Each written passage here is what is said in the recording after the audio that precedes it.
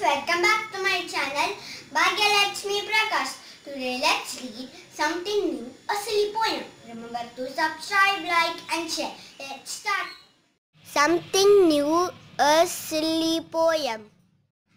Something new. There is fun to be had in doing a new thing. Be a little silly, give a day some zing. Every smile with your eyes and laugh with your nose. You could try it out and see how it goes. Try walking on your hands and writing with your toes. Draw rhinoceros flying high over a giant blue rose. Have your breakfast at night, eat dinner at noon. Wear Miss Smack socks, comb your hair with a spoon. Doing new thing can be so much fun, but you have to be safe. That's rule number one. Thank you friends. See you next video. Bye.